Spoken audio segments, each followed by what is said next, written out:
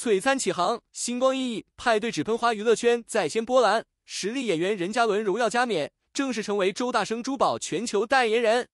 这一璀璨合作，不仅见证了任嘉伦在演艺道路上的非凡成就，更预示着他与周大生共同书写珠宝与艺术的华丽篇章。亮光闪烁，每一颗钻石的闪耀，都仿佛诉说着任嘉伦多面的魅力与不懈追求。让我们一同期待这份璀璨光芒，照亮每一个精彩瞬间。发光的星星，火警号娱乐热榜炸裂，警号火坛及任嘉伦。怎能不提他即将携手的又一力作《流水迢迢》？在这部未播先热的剧集中，他饰演的魏昭、萧无暇角色之复杂，情感之深邃，无疑将成为观众心中的又一经典。说，预告片里的惊鸿一瞥，场记版在那悠长岁月里，魏昭的生命轨迹仿佛一条蜿蜒的河流，爱情对他而言是命运不经意的触碰，带来的不仅是温柔乡的甜蜜，更有灵魂深处的挣扎与痛楚。破碎的心，他曾自喻为凤凰，渴望涅槃重生，却发现自己早已背负世人的偏见与自身的枷锁。羽毛虽美，却难掩尘世的痕迹。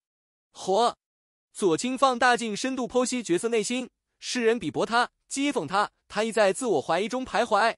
但正是这份不被理解的孤独，铸就了他坚韧不拔的意志。他渴望解脱，向往光明，却也在黑暗中寻找着属于自己的救赎之路。彩虹。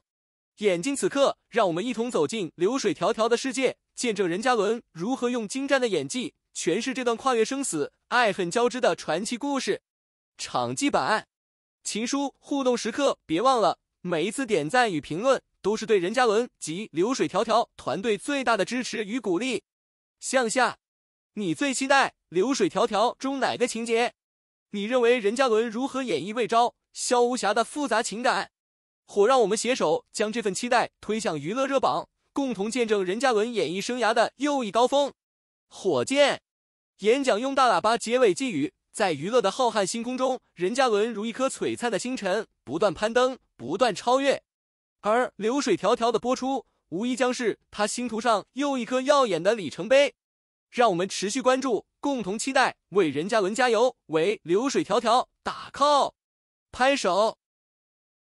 直到今天，我在呃呃上这个社交媒体的时候，看到大家说今天是个特别的日子，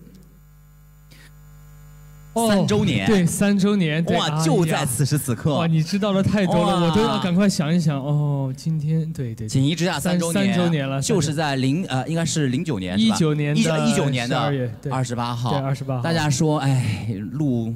陆某人欠金夏一个什么？我只是觉得怎么才三年，我怎么感觉好像都很快是吧？你五年了，六年的事情。我真的有这个感觉，因为你一直，其实大家都知道，嘉伦一直很忙，一直在这个工作当中进行着。但是其实才刚刚三，但是三年时间也不短了。很多人其实也也是通过那个剧爱上了这个你饰演的陆大人这个角色。是的，是的。哎，现在回忆一下那个时候，现在看那个时候的剧，或者是那个时候的感觉，嗯，是一个什么样的心态，什么样的心情？呃，一定是当下最好的。然后也很感谢自己那个时候对于陆毅有一个那样的理解和呈现啊，非常非非常开心，就非常开心那个时候的自己可以展现成那样，是吧？对对对。所以如果让我现在来的话，呃，我重新展现未必会有那个时候好，哦因为那个时候的那种表演、那种呈现就是最合适的。嗯，就是在一个时间机遇就不一定是最合适的了。在那个时间段里的呈现，在那个时代的心态，在那个时间的理解，就是最符合当下这个角色的感觉。对对对对啊！但是就是欠了人家惊夏一个。哎，好了，我觉得这个就是我们的艺术的呈现嘛。对对，有的时候不一定所有的表现。